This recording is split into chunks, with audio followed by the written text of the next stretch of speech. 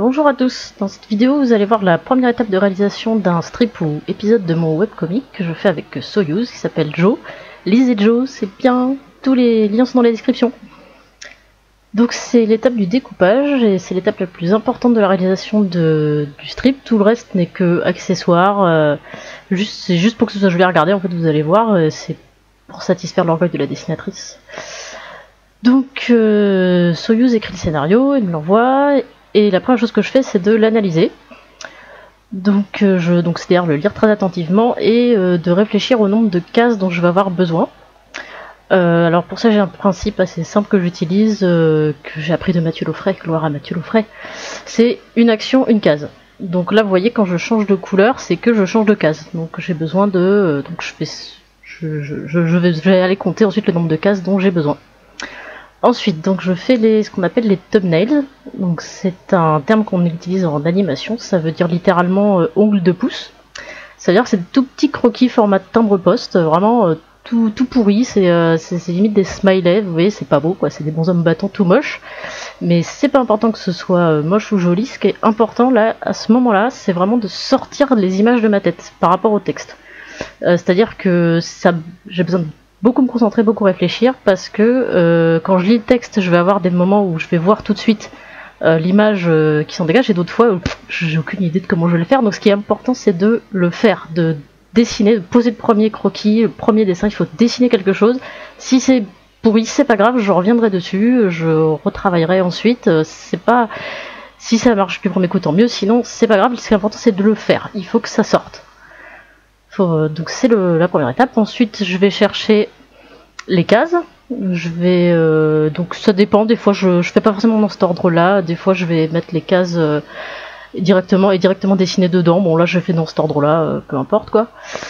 Donc je, oui, mes cases sont dans Photoshop parce que pour faire mes cases, j'utilise l'outil, enfin le, style de calque contour. Donc ça, ça, ça existe pas dans Sai, donc je fais mes cases dans Photoshop et ensuite je retourne dans Sai. Je fais constamment des allers-retours de toute façon entre les deux logiciels. Donc voilà, je copie-colle euh, tout bêtement mes croquis euh, d'un fichier dans l'autre euh, et j'ajuste avec l'outil transformation. Gloire à l'outil transformation. Voilà, ça a l'air pas mal ça. Donc ensuite, je vais euh, faire une deuxième passe sur mes thumbnails, c'est-à-dire que là, bon, vous voyez tel que c'est, c'est euh, moi je, peux le lire, c'est un peu comme si c'était mon écriture, mais euh, que je prenais des notes, mais si quelqu'un d'autre va le voir, il va pas forcément comprendre. Donc comme j'envoie mon prédécoupage à Soyuz ensuite pour validation, il faut quand même qu'elle voit un petit peu ce qui se passe dans les cases. Donc je, je voilà, je redessine un petit peu, je me prends pas trop la tête non plus pour que ce soit joli, il hein, faut juste que ce soit lisible, expressif et que qu'on comprenne voilà qu'on comprenne ce qui se passe. C'est la narration qui est importante à ce à ce moment c'est pas du tout la, beauté du dessin euh, c'est vraiment est-ce qu'on comprend bien tout ce qui se passe? Est-ce qu'on comprend euh, les émotions des personnages juste avec le dessin euh, est-ce que le regard circule bien? Tout ça est-ce que ça fonctionne? Donc voilà. Qu'est-ce que je peux raconter d'autre alors ouais, vous voyez qu'il y a des cases aussi. Des fois, ça va, je vais, ça va évoluer en cours de route. Hein. Je vais pas, c'est pas forcément gravé dans le marbre. Là, il y a deux cases qui, au final, euh, sont pas du tout comme ça. Je les ai changées après parce que bah, Soyuz m'a fait une remarque et puis ça a fait son chemin dans ma tête et je me suis dit ah ben non, ce serait mieux d'une autre façon, donc je l'ai changé. Euh, il y a aussi des cases qui euh, vont être très très proches de ce que j'ai fait au niveau du, du thumbnail de cette étape-là parce que, enfin, moi, ce que j'essaie de faire le plus, c'est de justement, je trouve que cette étape, comme je vous l'ai dit, elle est très importante, et surtout, vous verrez à la fin, en fait, je, en fait, elle se suffit elle-même, c'est-à-dire que je pourrais limite poster les strips comme ça, vous comprendriez quand même ce qui se passe. Ce serait pas très joli, mais vous comprendriez quand même. Donc moi j'essaie et ce qui se passe quand on dessine en général c'est qu'on a tendance à perdre un peu de la spontanéité, de l'expressivité qu'on a dans ces croquis tout pourris euh, de smiley. Euh, c'est extrêmement frustrant. Donc moi j'essaye au maximum de rester proche de mon thumbnail. C'est pour ça que là je vais le travailler quand même un petit peu pour que pour réduire la distance entre le bonhomme bâton et le personnage final, on va dire. Et pour que ce mais je, vais quand même rester essayer de sur certaines cases de rester très proche.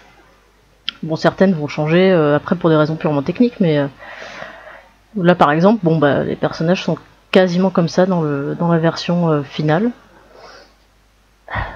Qu'est-ce que je peux dire d'autre?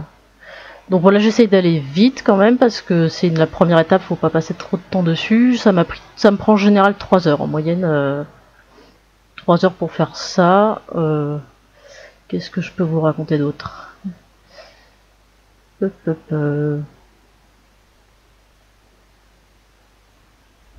Ah, La panne sèche, incroyable. Je je suis pas quelqu'un de très bavard, donc c'est un peu compliqué pour moi de discuter comme ça si personne ne me parle en face. Bref, on arrive bientôt à la fin de cette étape, euh, donc euh, voilà, je vérifie que tout va bien. J'ajuste encore un peu. Voilà, le texte. Donc euh, je vais placer, donc c'est un truc qu'il faut faire dès le début aussi, c'est de placer les textes. Alors j'utilise directement la typo que j'utilise au final avec la, taille de typo que, que j'utilise, etc. Enfin c'est vraiment les textes définitifs, je les place tout de suite. Et je fais très attention à ce que on les lise dans le bon ordre. Ça c'est un truc vraiment important. Euh, il faut, que le lecteur se pose pas la question, bah mince, euh, c'est quoi la, quelle, bulle je lis euh, l'une avant l'autre. Faut que ça s'enchaîne naturellement, sans que le lecteur ait à y réfléchir. Donc je fais très attention à ça. Donc basiquement, j'essaie de les placer de, de, gauche à droite et de haut en bas, hein, tout simplement. Alors voilà, ensuite je vais essayer, de, voilà, parce que au début, quand j'ai commencé le webcomic, j'utilisais qu'un seul format de case parce que je voulais que ça ressemble au western euh, spaghetti, etc. Ce format 16 neuvième très allongé. C'était une partie pris de mise en scène. Et au fur et à mesure, euh, je me suis rendu compte que j'étais quand même à l'étroit dans ces cases, surtout quand j'avais beaucoup de texte, parce que dans les westerns, il n'y a pas de bulle. Vous voyez, c'est du. Vu que c'est un film, logiquement, il n'y a pas de bulle. Donc, moi, comme j'avais parfois beaucoup de bulles avec beaucoup de texte, j'étais très vite. J'étais à l'étroit, donc j'ai fini par euh, me définir plusieurs tailles de cases que je peux utiliser, des tailles un peu plus grandes. Donc là, bah, je décide, bah, telle case, j'ai besoin finalement d'une case plus grande. Donc euh, voilà, je copie-colle, etc. Je bouge mes machins dans tous les sens, ça ressemble à rien. C'est un peu prise de tête à faire ça. Hein. Euh, pour ça que vous comprenez rien sûrement, c'est normal. Euh, donc voilà, CTRL T, déplacement, etc. Vous notez que j'ai très peu de calque à ce stade. Je n'ai qu'un seul calque globalement pour tout le dessin. Ça, ça va très ça va changer, vous constaterez par la suite. Toujours le CTRL T, gloire au CTRL T. Que ferais-je sans CTRL T? Voilà, j'enregistre mes fichiers, machin, je fais ma, cuisine. Et qu'est-ce qui se passe ensuite? Ah bah finalisation. Donc je voilà, je reviens un dernier coup d'ensaille pour euh, finaliser, euh, rajouter des bulles, enfin voilà, régler les derniers euh, les derniers petits trucs. Euh, donc vous voyez en fait à ce stade que euh, le strip est déjà lisible, le strip est déjà compréhensible. En fait, on limite je pourrais le poster comme ça et euh, vous pourriez lire le webcomic comme ça. Il y aurait beaucoup plus souvent des updates. Donc c'est pour ça que c'est à mon sens l'étape la plus importante. Et que parfois j'ai souvent un coup de mou entre le moment où j'ai terminé cette étape où elle est validée par Soyuz et le moment où il faut que je fasse tout le reste. Que vous allez bientôt découvrir car je vais vous présenter ensuite d'autres vidéos, vous verrez toutes les autres étapes de réalisation du stream. Donc je vous remercie d'avoir regardé.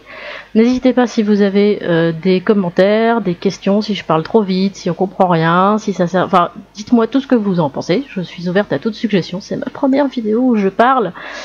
Donc je suis un petit peu nerveuse. Voilà, j'espère que ça vous a plu. Et surtout lisez Joe